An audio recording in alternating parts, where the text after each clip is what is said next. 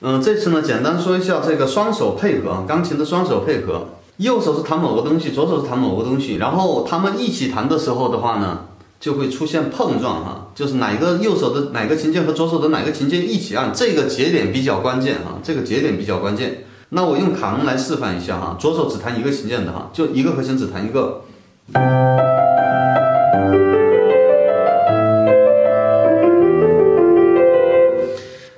记得这个第一个烧和左手的这个西一起按，一起按下去，这个这个节点抓好就行。然后右手的烧和左手的 G，这种这种节点你要抓好啊。如果这种节点没有抓好，另外的琴键和左手的另外的琴键它一起按了，那这个整体感觉就完全不一样了啊。就这么一个点，就得把这个点给抓好啊。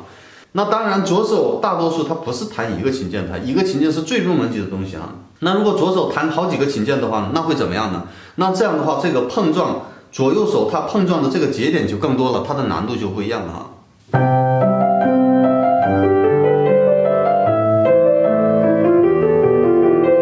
左手弹一个和左手弹三个，他们的难度不一样的。然后还得看一个节奏哈，节奏就你这个左手是用什么样的节奏弹的啊？我刚才弹的是三个琴键啊，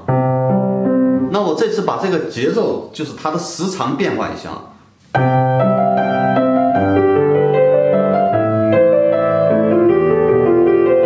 这个感觉又不一样了哈，因为就左手的时间值变了一点点，它们的整体的感觉就不一样啊，就是这么几个因素哈。呃，这种东西的话，你大概会看谱子的话，就会容易一些。然后练的过程当中的话呢，你得从简单一点的开始，一点一点加大难度，这样的话就容易学哈。如果之前完全什么也没有弹过，然后直接学刚才我示范的这种曲子，那你就弹不了。刚开始要弹简单一点的东西，无论是右手也好，右手的跨度也好，左手的这个模式也好，然后双手配合的这种东西也好，节奏啊什么的都要简单的东西，那样的话你就学起来比较简单哈。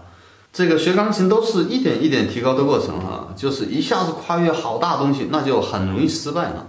然后如果你一直弹就超级简单、超级简单的东西，你一直在那个领域里面转的话，也没有提高。所以这个度就是这个度了啊，这个度得抓好一些啊。